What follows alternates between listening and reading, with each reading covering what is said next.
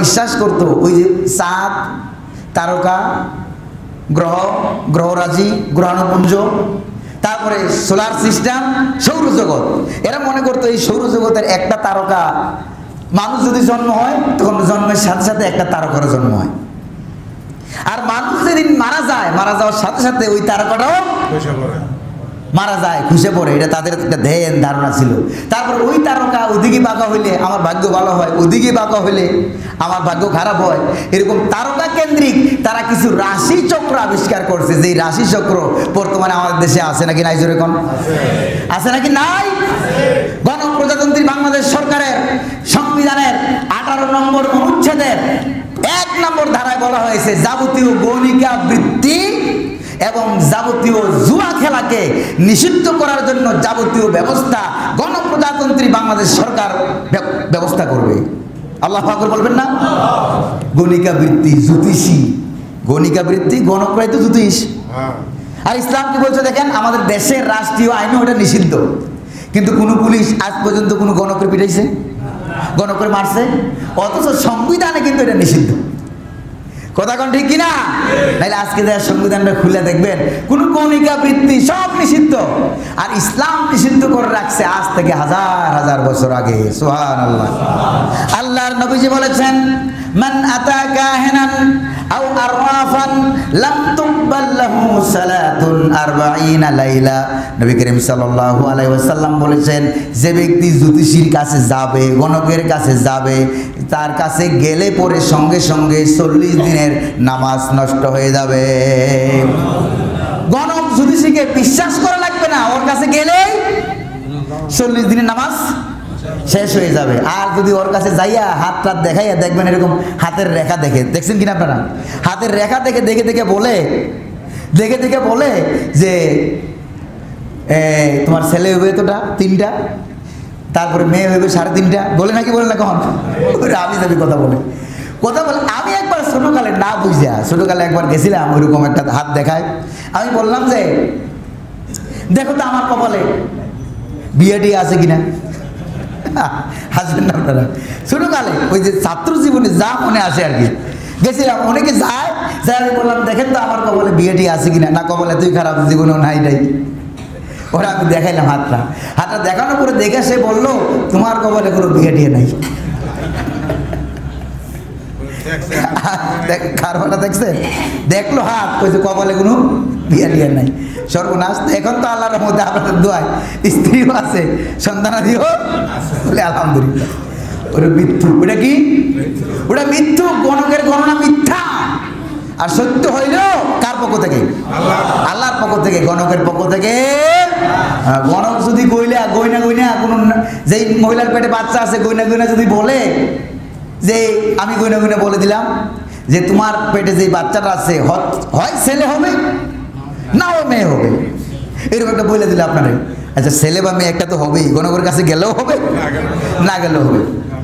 আর আল্লাহর নবীজি বলেছেন, ওয়ামান আতা কাহিনান আও আররাফান যে ব্যক্তি গণকের কাছে, জ্যোতিষীর কাছে হাত দেখে দেখে নাম্বার অঙ্ক করে, যারা ভাগ্য গণনা করে বাটিয়া পাখি উড়াইয়া যারা ভাগ্য গণনা করে, আছে নাকি নাই গণ আছে। ওদের কাছে যারা গেল, ফাসাদ্দাকাহু বিমা ইয়াকুল। গণকে যা বলল, তা তা বিশ্বাস করল। গেল এবং বিশ্বাস করল। নবী করিম আলাইহি সাল্লাম বলেন ফাকাত বারিয়া বিমা উনজিলা আলা মুহাম্মাদ সাল্লাল্লাহু আলাইহি ওয়াসাল্লাম। ওই ব্যক্তির সাথে আল্লাহ এবং তার রাসূলের সমস্ত সম্পর্ক ছিন্ন হয়ে গেল। তাহলে লোকটা ইমানদার না বেঈমান? বেঈমান হয়ে গেছে। পুনরায় ইমান না আনলে এই বেঈমান অবস্থায় আবার মারা যাওয়া লাগবে। প্রিয় ভাই সব, এই জাহিলি যুগে আরেকটা জিনিস হচ্ছে কি? ওইগুলো বললাম, তারকা, জ্যোতিষী, পরজন্মবাদ, সংক্রামক বেদি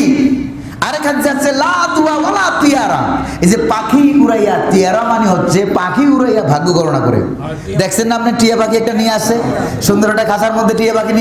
আপনারা? এই টিয়া পাখি আবার দেখলে যায়, টিয়া পাখি গনে দাও।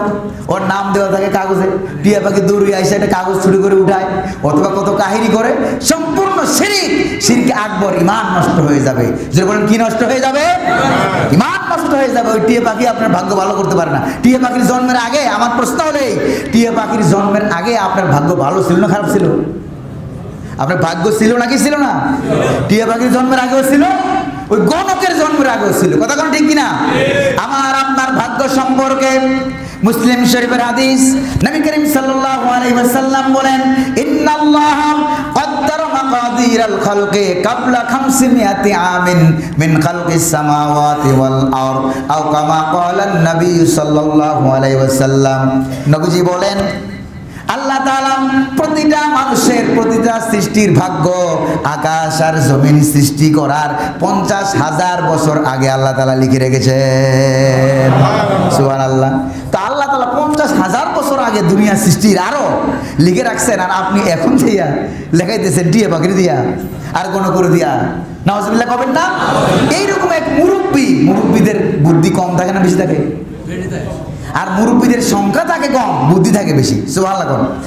এই যে এখন তাকে দেখেন আপনি মুরব্বী বেশি না যুবক বেশি? যুবক বেশি, মুরব্বী কম, মুরব্বীদের সংখ্যা কম, কিন্তু বুদ্ধি বেশি। এই যে আপনি হাতের দিকে তাকান তো, হাতের দিকে তাকান, মুরব্বী কয়টা? বুড়া বুড়া আঙ্গুল কয়টা? কথা কয় না কয়টা? একটা। এক হাতে একটা। আর যুবক আঙ্গুল কয়টা? ছেলে পেলে কয়টা? তাহলে মুরব্বীর সংখ্যা কম থাকে না বেশি থাকে কম? এই মুরব্বীর সংখ্যা থাকে কম কিন্তু বুদ্ধি থাকে অনেক বেশি এক্সপিরিয়েন্স বেশি অভিজ্ঞতা বেশি এক্সপার্ট কথা কন ঠিক কিনা? এই এক্সপার্ট একটা মুরব্বী গেছে একদিন গণকের কাছে। যাই আই বাজারে মানুষের ভাগ্য গমতেছে যাই আই কোনো কথা নাই। থাপ্পড় মারলো। ওই গণক বলতেছে দাদা আপনি আমার থাপ্পড় মারলেন কেন? বলছে, আরেকটা মারবো। সর্বনাশ, মারাত্মক দাদা না পাইলাম। কই যে, কেন মারলেন? বলেন না একটু কেন মারলেন? কই যে, আরে মারলাম এই কারণে, তুমি তো এখানে বসে বসে মানুষের ভাগ্য গণনা করো। কার ভাগ্যে কি আছে? গণনা করো, ভালো আছে না মন্দ আছে? তুমি তো আজকে বাজারে আইসা, এই যে বড় একটা ওইটা আগে একটু গোনে ডোনে আসলে ভালো হতো না। কথা বলি মুরব্বীদের বুদ্ধি একটু বেশি থাকে, কথা কোন ঠিকই না। আল্লাহ বুদ্ধি আরও বাড়াই দিন বলি আমিন। আরও জোরে বলি আমিন।